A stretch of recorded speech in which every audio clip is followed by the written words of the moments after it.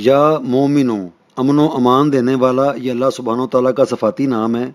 جو شخص کسی خوف کے وقت چھ سو تیس مرتبہ اس اسم مبارک کو پڑھے گا، اللہ کے فضل و کرم کے ساتھ خوف اور جانی و مالی نقصان سے محفوظ رہے گا۔ جو شخص اس اسم مبارک کو پڑھے یا لکھ کر پاس رکھے، اس کا ظاہر و باطن اللہ سبحانہ و تعالیٰ کی خاص پناہ میں رہے گا۔ جو کثرت سے اس کا ورد کرے، اس کا ایمان قائم رہے گا۔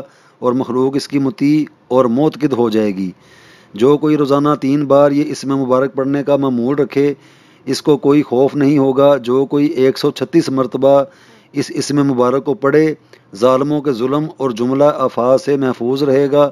خوف زدہ آدمی اگر فرضوں کے بعد مطلب جو نماز پڑھی جائے گی، اس کے فرضوں کے بعد ایک سو چھتیس مرتبہ اس اسم کو پڑھے، تو اس کے جان اور مال محفوظ رہیں گے۔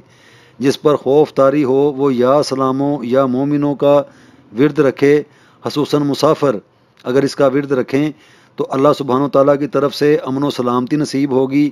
جو شخص کسی خوف کے وقت چھ سو تیس مرتبہ اس اسم کو پڑھے گا، اللہ کے فضل و کرم کے ساتھ ہر طرح کے خوف اور نقصان سے محفوظ رہے گا۔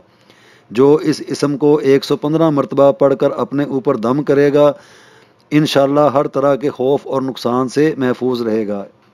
یا مومنوں یہ اللہ سبحانہ و تعالیٰ کے نام کے جو حاکم اربا عنصر ہیں کہ ان کے حاکم اربا عنصر کون سا ہے، ان کا ستارہ کون سا ہے، ان کا برج کون سا ہے اور ان کی حاکم سمت کون سی ہے۔ تو یہ ساری ادھر بتائی جا رہی ہے۔ تو آگے یا مومنوں کا عمل بننے کے لیے اٹھائیس دنوں کے اندر، چار ہفتوں کے اندر، چار ہفتوں کا ایک مہینہ ہوتا ہے۔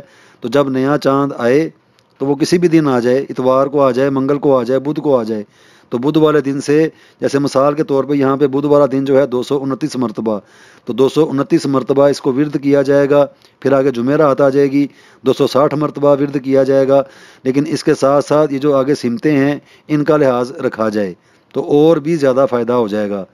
اب اسی کو باموکل کرنے کے لیے یہ جو یا مومنوں کے حاکم فرشتے ہیں، تو اتوار کے دن کا جو حاکم ہے تست سا عیل اتوار کے دن کا جو حاکم ہے، اس فرشتے کا یہ نام ہے، پیر کے دن کا جو حاکم ہے وہ ضو ضا عیل و ضو ضا عیل منگل کے دن کا جو حاکم ہے رمرشا عیل بدھ کے دن کا جو حاکم ہے دا زد خا عیل جمعرات کا جو حاکم ہے کدک لا عیل جمعے کے دن کا سکس کا عیل ہفتے کے دن کا زرز غا عیل مثال کے طور پہ اتوار والے دن اس کو شروع کیا، یا مومنوں ایک سو چھتیس مرتبہ اگر یا مومنوں پڑھا ہے، تو ایک ہزار تین سو ساٹھ مرتبہ تا ست سا عیل کو پڑھا جائے گا، ایک ہزار تین سو ساٹھ مرتبہ۔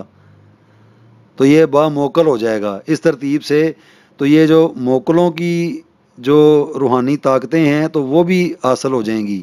اگر کوئی موکل کے ساتھ کرنا چاہتا ہے، یہ بالکل اللہ کے فضل و کرم کے ساتھ یا مومنوں کے اصل فرشتوں کے نام میں یہ بتا رہا ہوں۔ یہ پہلے کبھی کسی نے نہیں بتائے ہوں گے یا پتہ نہیں ہوگا، لیکن یہ جو ہیں، اللہ سبحانہ و تعالیٰ اس کے اوپر گواہ ہیں کہ یہ بالکل یا مومنوں کے ہی اپنے فرشتے ہیں، حاکم دنوں کے۔ جس دن جو بھی دن ہے، اس کا جو حاکم فرشتہ ہے، ان کے یہ نام ہے تو آگے اس کو با موکل کرنے کے لیے آگے اپنی اپنی مرضی ہوتی ہے، چوائس ہے۔